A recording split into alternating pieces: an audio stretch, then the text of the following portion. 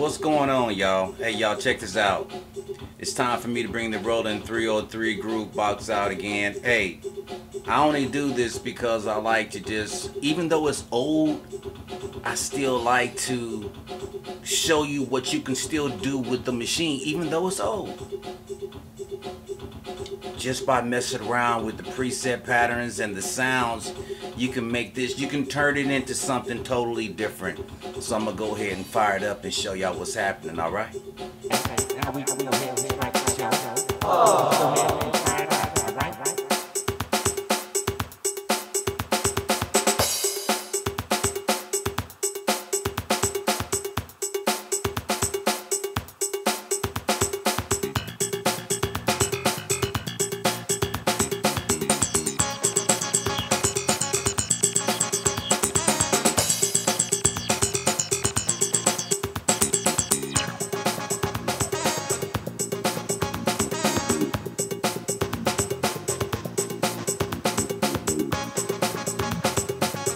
Luz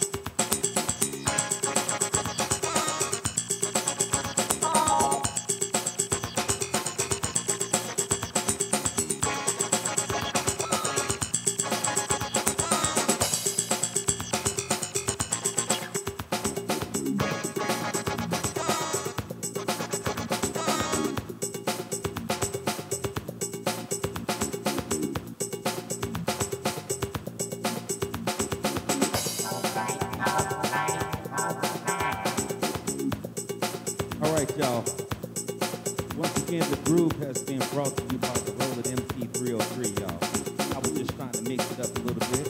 Hopefully, y'all can dig it, all right? I'm out, y'all. Peace.